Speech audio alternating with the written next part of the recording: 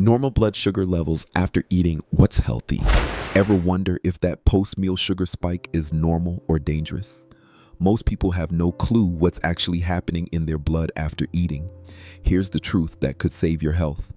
When you eat, your blood sugar naturally rises. For healthy individuals, normal levels should stay under 140 milligrams per deciliter two hours after eating. But here's what's shocking Many people think 180 or even 200 is fine. It's not. Your body works like a precise machine. Within 30 minutes of eating, glucose peaks, then insulin kicks in to bring levels back down.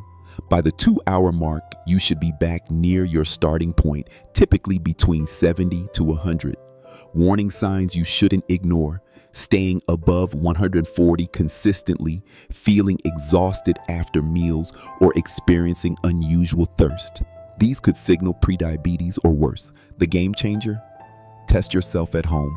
Check before eating, then again two hours later. Knowledge is power, and your pancreas will thank you for paying attention to these critical numbers.